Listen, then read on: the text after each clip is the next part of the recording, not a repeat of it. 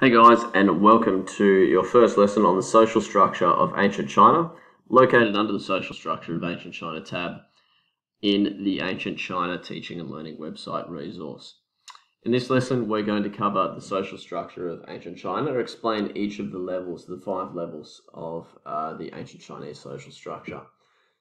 So, your success criteria by the end of this lesson, you need to know social the social structure of ancient Chinese society, and you need to be able to explain each level here. So, what we're going to do is we're going to start off by looking at the social structure of ancient China. This is a diagram that explains the structure. You can see there's five levels: the Emperor, Shi, Nong, Gong, and Shang and it's in order of most valued and least valued. And this is based on respect and honor as well the size of the segments of this diagram that I've made as well is representative of the population. So how many people were in each of these levels. So let's start off by kicking off with the emperor. While I'm explaining as well, you might want to copy this diagram in your books too. So start off with the emperor. So the emperor was the ruler.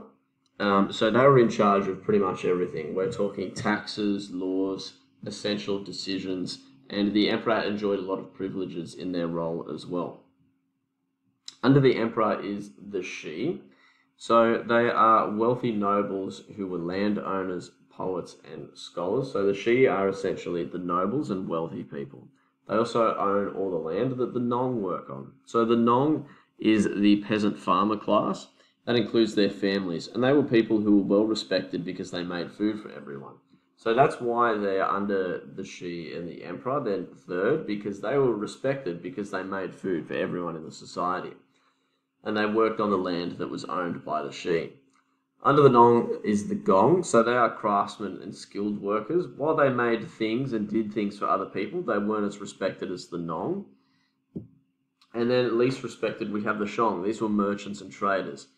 And these guys were the least respected or least valued because they only worked to make money for themselves and not for other people. Whereas the Nong made food for other people, they made things for other people. And that's what is explained in this uh, little paragraph here.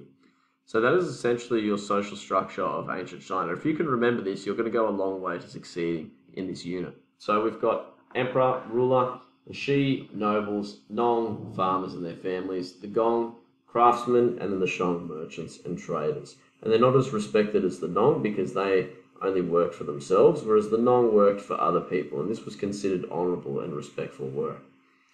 The last activity for this lesson is a ClickView activity.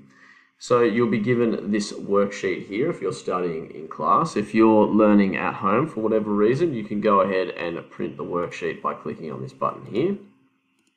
And what you need to do is watch each of the videos that goes with these headings here and write down two facts. Be ready to share your answers as well. So I'm just going to quickly sign in to ClickView.